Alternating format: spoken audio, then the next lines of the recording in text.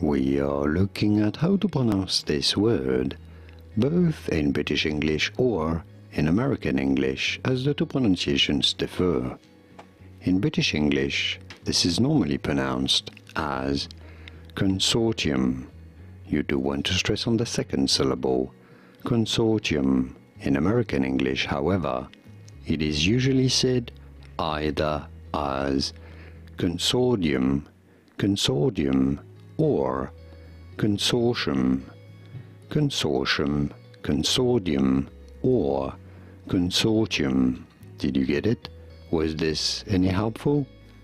Let me know in the comments. Here are more videos on how to pronounce more words in English whose pronunciations aren't exactly always obvious. I'll see you there to learn more.